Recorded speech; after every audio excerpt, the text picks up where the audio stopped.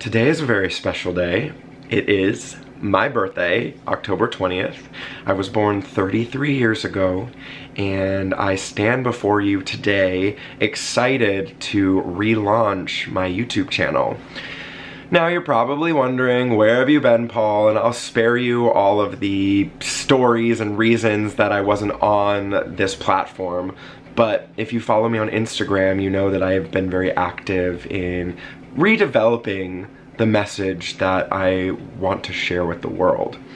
And um, for my birthday, not only would I love it if you subscribed to my channel and gave this video the big thumbs up, but for my birthday, I would love for you to find a mirror, wherever it is, just find a mirror. You can even do it right here with me. Find a mirror, look at yourself in the mirror, and say these three words. I love you. Yes, I want you to say those words to yourself while looking yourself in the eyes. It may get uncomfortable. It absolutely will get uncomfortable. But this is the first step into changing your life. Yes, self-love, I know that term gets thrown around all over the place, but self-love is the first step into changing your life.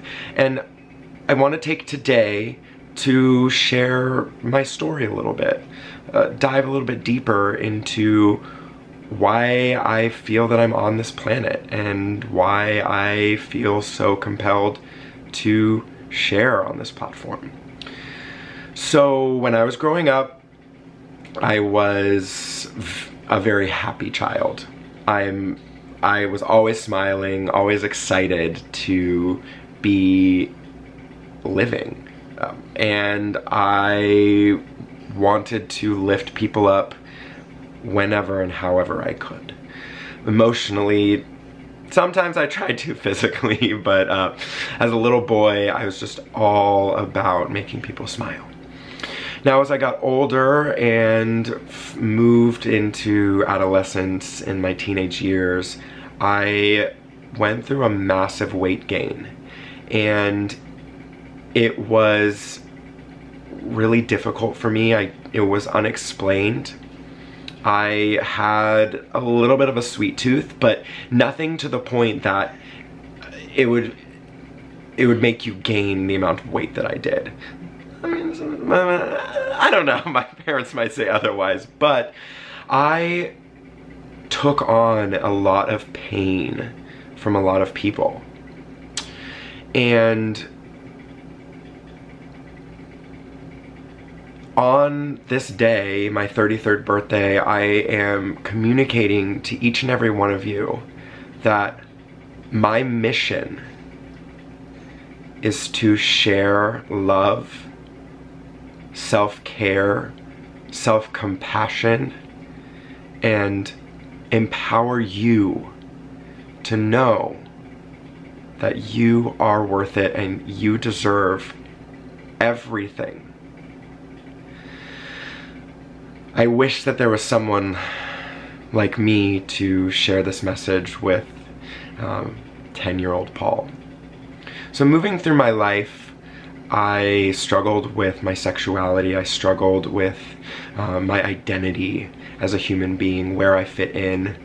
I had a lot of female friends, not a lot of male friends, and um, when I came into my own, uh, I still struggled connecting with men. And that was something that I really strongly wanted. And it, of course it didn't strike me until later that um, you know, I desired the companionship of a male beyond a friendship and when I finally came to terms with this my weight started to melt off of me. I'll say that again. When I came to terms with who I was, embraced not only my sexuality, but my love for life, I almost overnight lost 20 pounds. And then it was just a snowball effect by loving myself more, I, I cared more about the things I put in my body. I wanted to exercise. I wanted to spend time doing things that lifted me up instead of brought me down. And I share this with you because I hope that my story can inspire you. Because not everyone has to take the same path as me. Not everyone has to move through a, a self-loathing phase and then, you know, dig and bury it even deeper and hate themselves and then from there emerge from the ashes as a phoenix. Uh, it doesn't have to be like that for you. Every single day, if you can look at yourself in the mirror and just say, I love you, but really mean it. Not talking about like the social media, like, hey, I love you guys. Like, I'm talking about this real, like, passionate, I love you. And it's not vanity, it's truth. It's truth within you. You deserve to be loved by yourself. You deserve to experience life, work through your moments, and I just really, really, really passionately wanted to share that with you. So, on my birthday, I hope that you can take this as permission to just love yourself no matter what. Because when you love yourself, the changes that you want for you and the things that you want to accomplish, they will start to happen. They will. So, if you haven't already, find that mirror, look at yourself in the mirror, and tell yourself that you love yourself. You deserve it. And I feel the love from you and appreciate it so much. So thank you for that gift.